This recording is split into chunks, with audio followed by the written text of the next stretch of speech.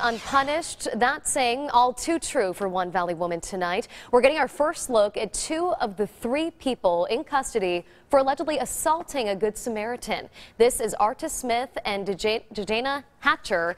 Day Jenkins also in custody, not pictured here. DPS says a woman was driving on Price to the access road when she stopped to help four people that she thought were stranded. They were waving her down, but that's when one of them jumped into her car and punched her.